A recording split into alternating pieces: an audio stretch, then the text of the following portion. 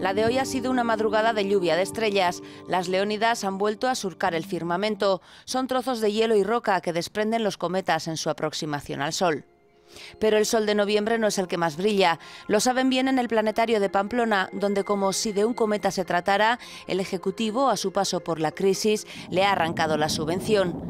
Este año recibirá tan solo 50.000 euros para seguir existiendo, frente a los más de 500.000 que recibió el pasado año, una reducción del 92%. Las cantidades y los plazos de esa minoración de aportación del, Gobierno de Navarra pues, pues son mucho más agresivas de lo, inicialmente previsto y en ese sentido pues nos obligan a, adelantar plazos y a, búsqueda de, recursos eh, externos fuera de lo que es el Gobierno de Navarra.